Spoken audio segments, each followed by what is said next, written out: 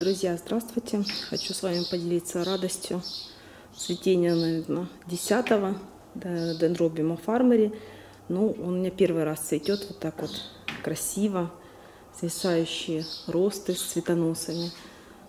Вот он разросся до таких размеров, просто красавец. Запах нежный такой, очень приятный. И кто хочет завести его, этот дендробиум фармери, очень советую, потому что он цветет у меня буквально пять раз в году. Отцветает, чуть порастет рост и опять выдает цветоносы. Цветение, ну, очень красивое.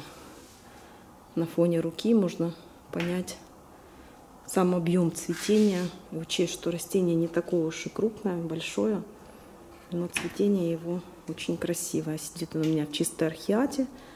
И поливаю я по мере просушки, даже дня три может постоять сухим. И периодов покоя у меня у него практически нету. Вот такой вот красавец.